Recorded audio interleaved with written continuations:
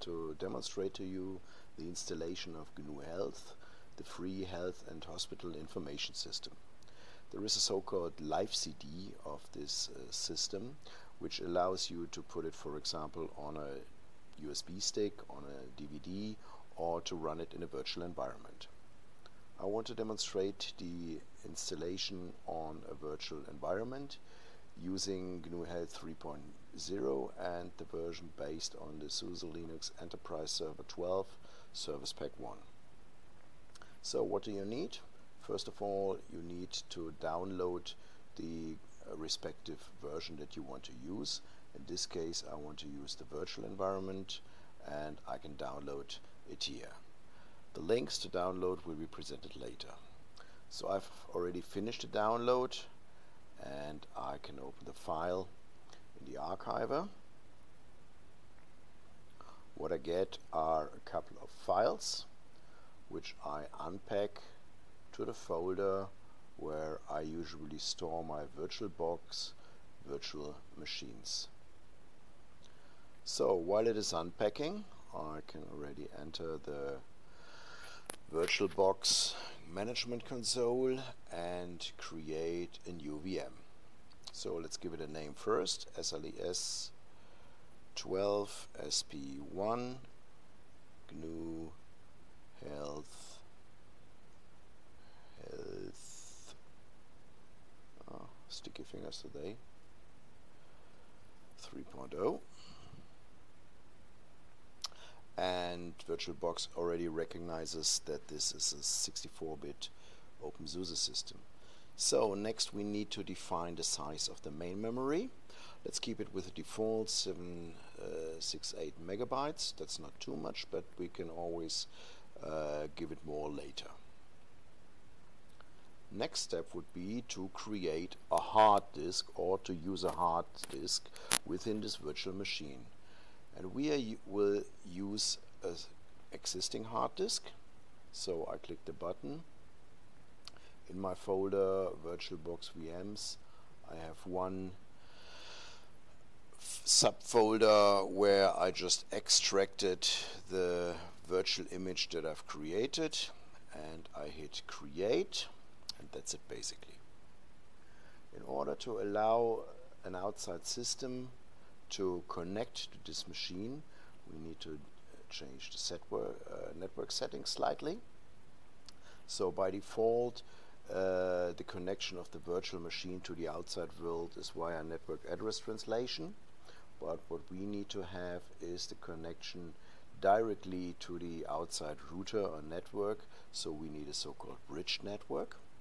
And we need to connect it to the network connection uh, that's currently in use. So with my laptop I'm connected with uh, wireless LAN to my router so I choose uh, the WLAN 0 connection.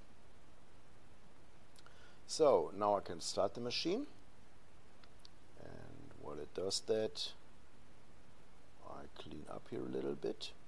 So once the machine is booted we have various options to connect to the server.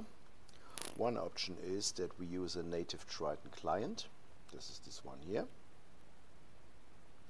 Or the other option that we have is that we use uh, a web client. So since uh, 3.8 Tryton uh, delivers SAO, this is the web front end for the Tryton environment. So let's see how the machine is doing. Okay, it asks us to connect to the or to, to agree to the license agreements that's done fine. So in theory we would already be ready uh, if you have a network with a DDNS or a dynamic name resolution you would see this machine now as SLES minus GNU Health um, as I have a standard router over here, it doesn't have a proper DDNS, so I need to know what the IP address of this machine is. So I need to log in, and I do this with the user GNU Health. Password is GNU Health as well. So that's it. So now I need to check for ASPIN IF config to see what my network address is. And for the port Ethernet 0 this is the local Ethernet connection of the machine. I have 192.168.178.46 so I can enter this here in the host destination. Port 8000 the database is GNU Health 30 username is admin password is GNU Solidario so let's connect to the GNU Health machine and see we have already the GNU Health machine up and running. So that was the connection possibility with the native client. Now let's use the web client.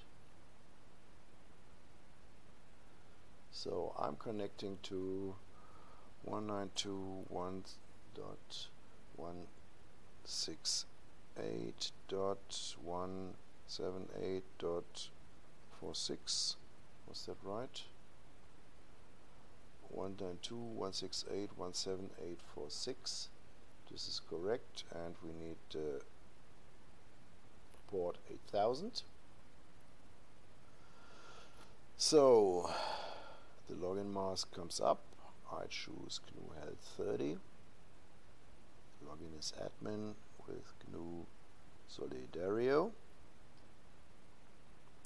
no it doesn't need to remember so and you see here we have in the same format the same layout the login via the web front end. That's basically about it. Basically a three-click installation until you have your uh, GNU Health system up and running. Feel free to submit any comments or remarks to health at gnu.org and for the rest have a good evening and have fun with your virtual machine. Cheers.